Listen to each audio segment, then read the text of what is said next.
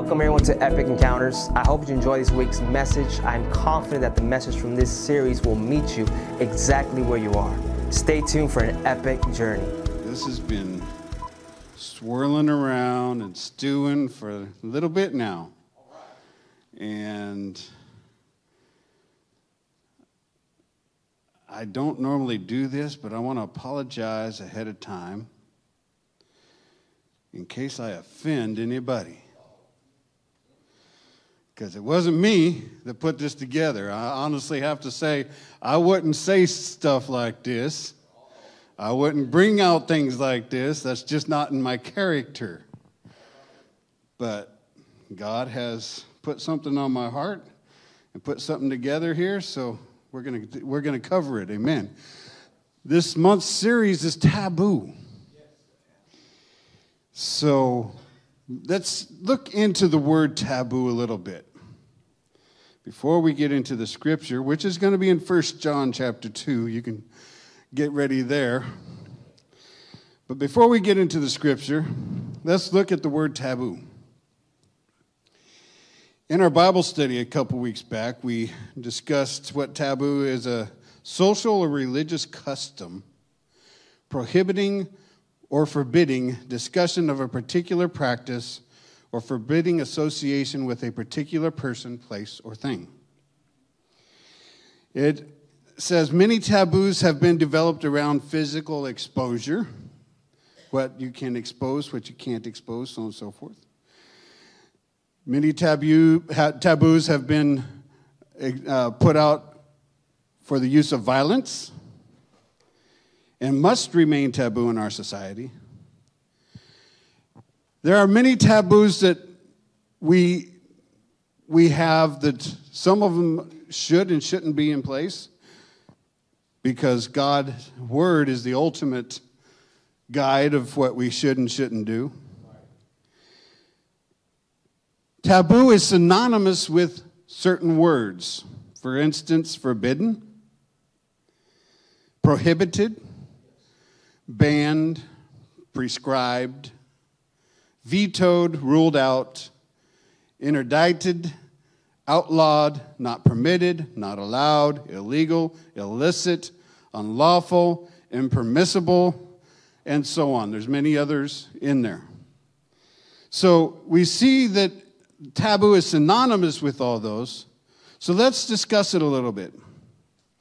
Taboo is synonymous with sin. Why do you say that, Pastor David? If God states something is sin, then for you it's taboo. If God states something is a sin, then for you it's taboo. In society, if something is taboo, it should be left alone, walked away from, and even shunned. Our society today in the United States has many taboos. Don't talk about the LGBTQ. Don't talk about abortion. In many households, in many families, in many people's lives, don't talk about politics. Okay? Don't talk about Black Lives Matter. Don't talk about the, the uh, border wall. Don't talk about this. Don't talk about that. It's not proper. You can't ta- say that. You shouldn't say that. Well, it's a taboo.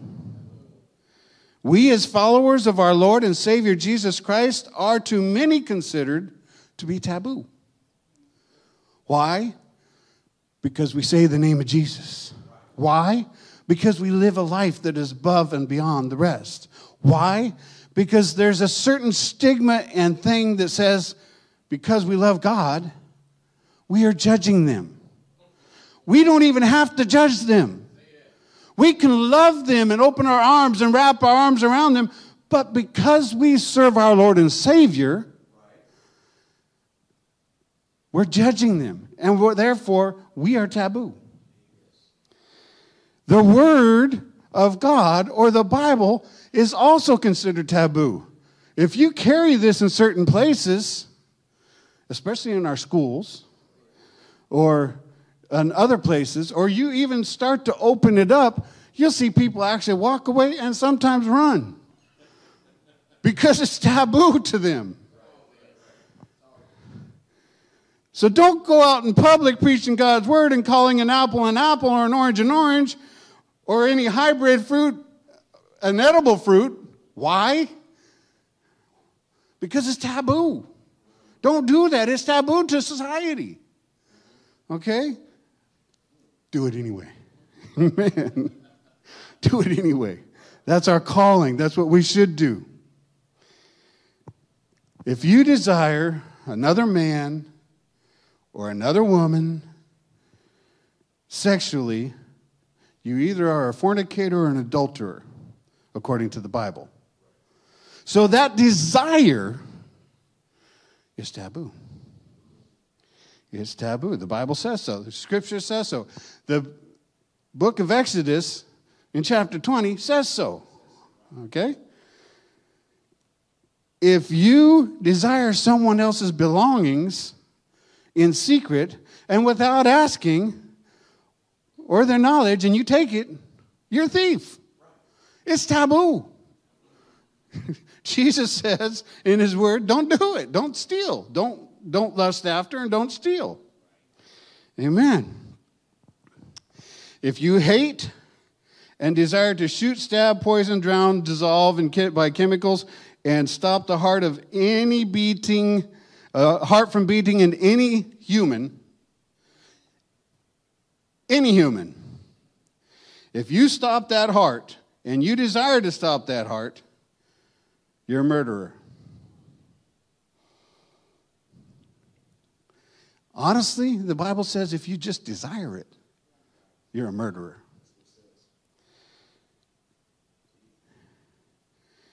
If you were born with reproductive organs on the outside, you're predisposed to, at the age of 13, to have a deeper voice show up, facial hair show up, and later on in life go bald.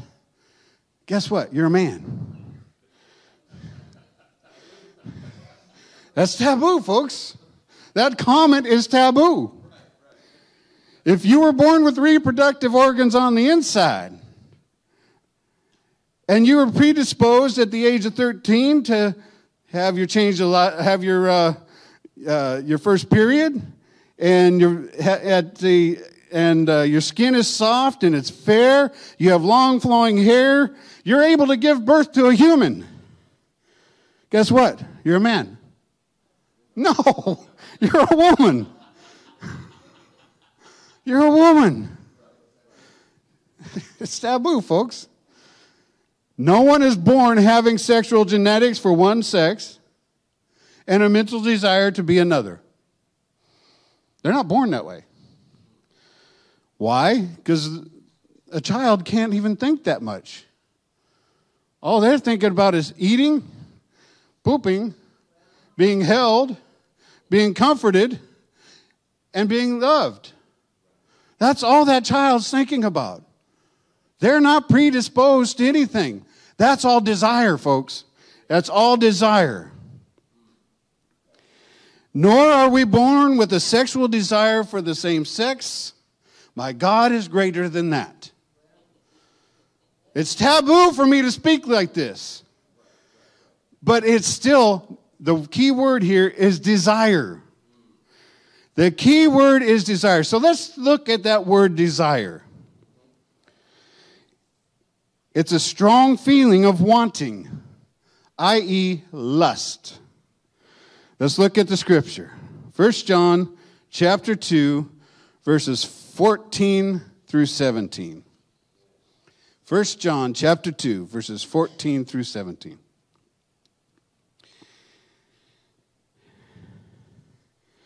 In the translation I have written down here, which I believe is the NIV, it reads like this I have written to you, fathers, because you know him who is from the beginning.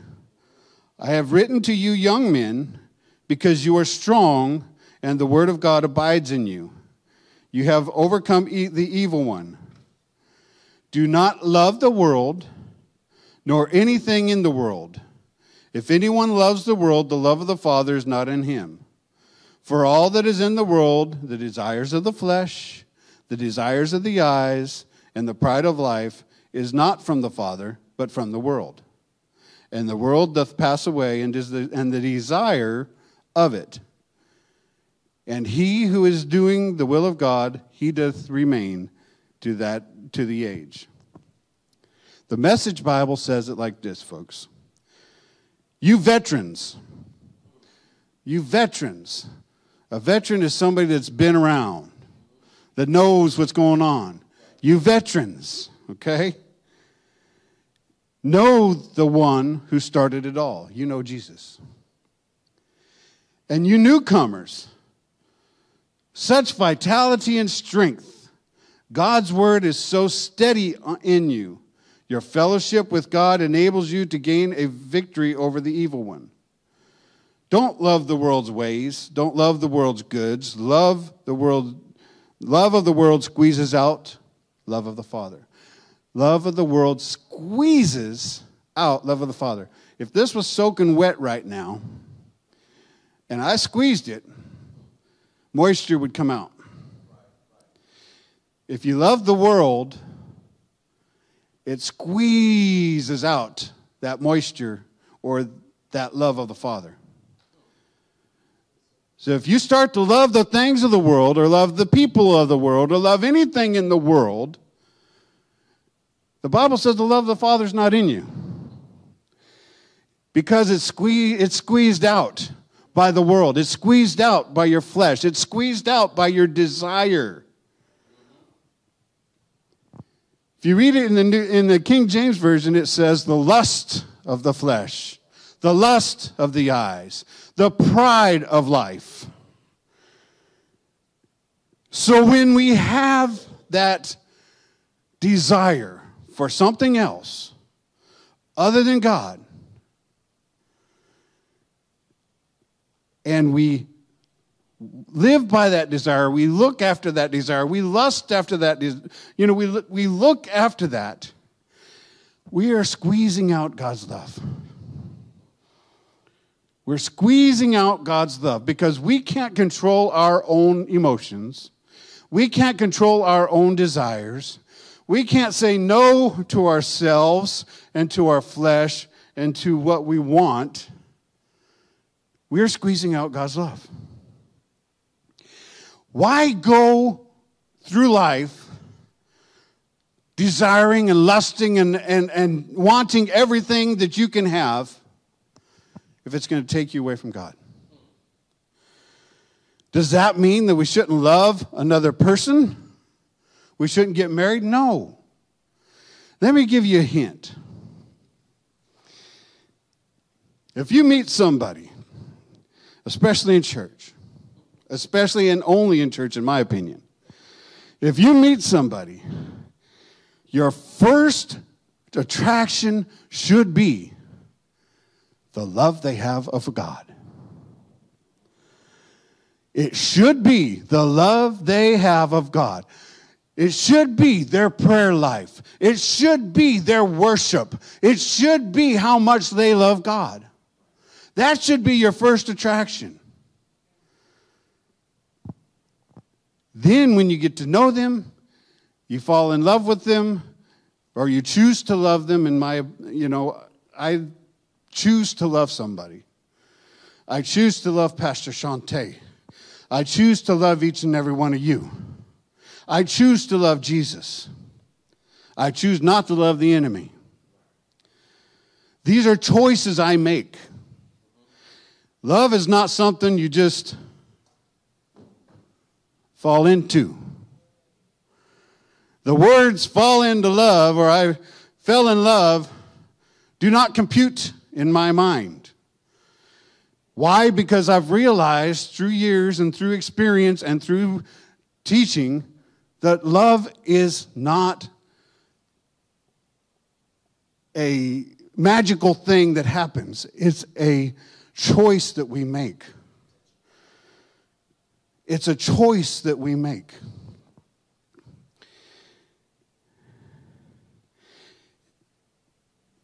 your first attraction should be to God.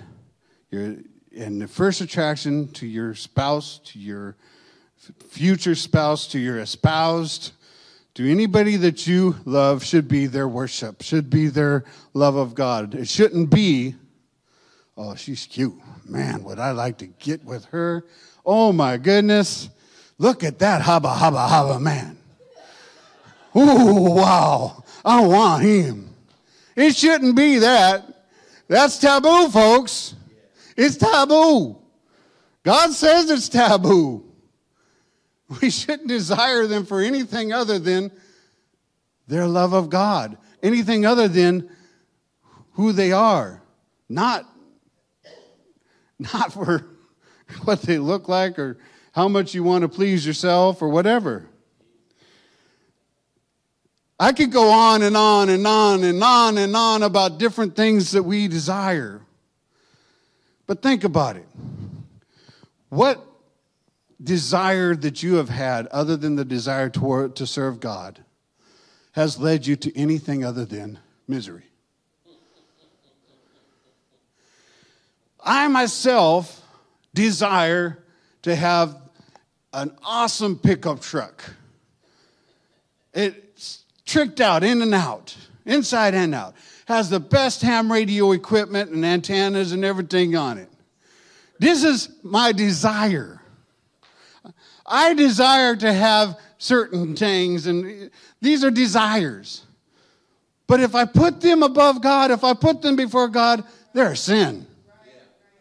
They're a sin.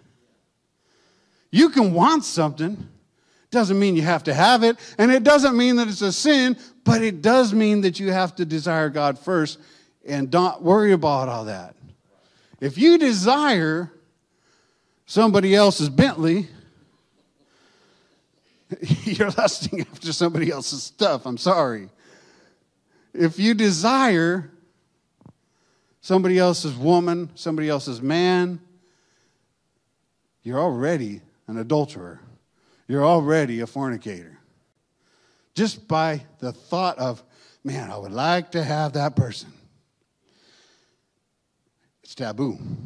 We're talking taboo here. In our society today, we have many taboos. Just in society. A lot of them are based on the Word of God. Some of them are based on, on group dynamics or what they call, um, uh, I always use this word, now I can't remember it. but it's based on the group think. The group, you know, we all think that we should go this way and not this way. Jesus says if you follow the crowd, he doesn't want to have anything to do with you. He says, Come out and be ye separate from among them. Come out and be ye separate from among them. Be yourself separate. Don't follow the crowd. Don't go, go with what they say. Don't go with what they do. Don't follow the crowd. Let your desires, let your heart be towards God. Let your, let your mind think about godly things. When you have a problem, when you have a struggle because of desire, because most sin comes from desire. Every sin, if you look at it in one way or another, comes from desire. It comes from lust. If you want to do something other than go to church, other than praise God, other than pray, other than read the Bible, guess what? It's a desire, it's a lust. Doesn't mean you have to be so holy and perfect and, you know, read your Bible 24 7 and so on and so forth, but it does mean that you need to put your priorities in place and God should be number one in all things.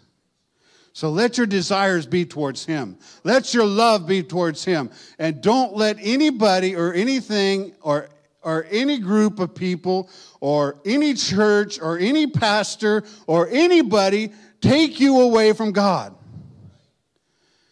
Nobody should separate you from the love of God.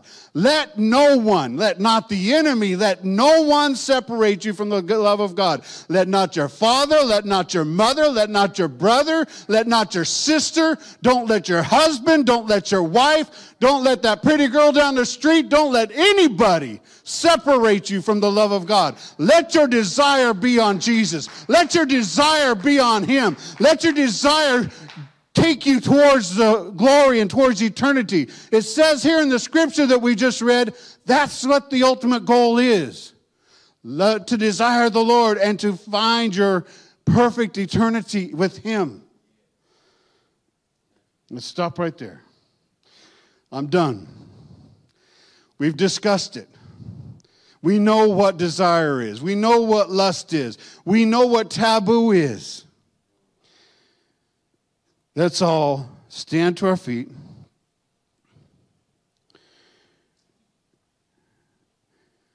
I want you all to close your eyes. And I want you to open your hearts. I want you to open your minds. And I want you to talk to the Father and find out what desires, what things can if followed upon or if dwelt upon, can lead you astray and squeeze out his love. And right now, proclaim in your heart, proclaim in your mind, proclaim in your spirit, I will not follow that path. I will desire the word of God. I will desire the love of God. I will desire to serve him. Take a moment, think about what is it that can lead you astray? What is it you need help over? And as we enter into prayer, as we enter into this time of consecration and dedication to the Lord, if you need to come up and you need to be prayed for for anything, if you need a pastor or somebody to lay hands on you and and pray for your strength and pray for your uh, po- pray for the power of the Holy Ghost to guide you and protect you and to get you to that place that God wants you to be. The altars are open. The altars are open. Please come. Hello. We want to thank you for watching this segment. We would like to hear more from you. Please follow us and connect with us via social media outlets. We want to offer you an opportunity to partner with us. We can do more together. Below is the information on how you can be part of bringing this message from our community to yours. And before you leave, take our motto with you more compassion, fewer complaints.